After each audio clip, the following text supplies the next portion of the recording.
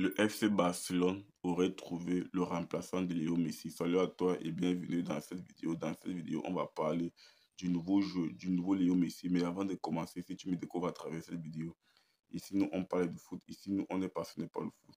Donc si tu es intéressé par la thématique, si la thématique te parle, n'hésite pas à t'abonner, d'activer la cloche de notification pour ne rien manquer des prochaines vidéos. Si c'est fait, on est parti. Alors les gars, le FC Barcelone aurait trouvé son nouveau Léo Messi. Ce joueur, c'est Ada les gars. C'est un mec qui est né le 25 février 2005. Il a 18 ans. C'est un mec qui joue à Fenerbahce.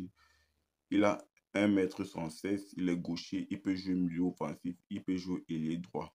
Donc, il est polyvalent. C'est un joueur qui a beaucoup de qualités. C'est un joueur dont tous les grands clubs veulent s'encaparer.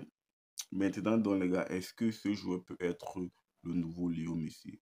Moi, je pense que non. Je pense que non parce que Léo Messi est un joueur unique des joueurs comme Léo Messi, il y en a une fois tous les 100 ans. Donc, je ne pense pas que ce Adabou, les gars, il peut vraiment faire oublier Léo Messi dans le cœur des fans du Barça, voire même dans le monde du foot tout simplement. C'est un joueur qui a beaucoup de qualités. Je parle de Adabou, mais pour moi, euh, je ne pense pas qu'il fera oublier Léo Messi. Je ne pense même pas qui sera seulement à la hauteur de Messi, les gars.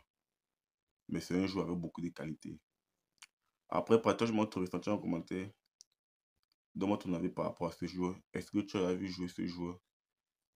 Dis-moi tout. Et si ce n'est pas encore fait, n'hésite pas à t'abonner et d'activer la cloche de notification pour ne rien manquer des prochaines vidéos. Si on se dit à très bientôt pour une autre vidéo.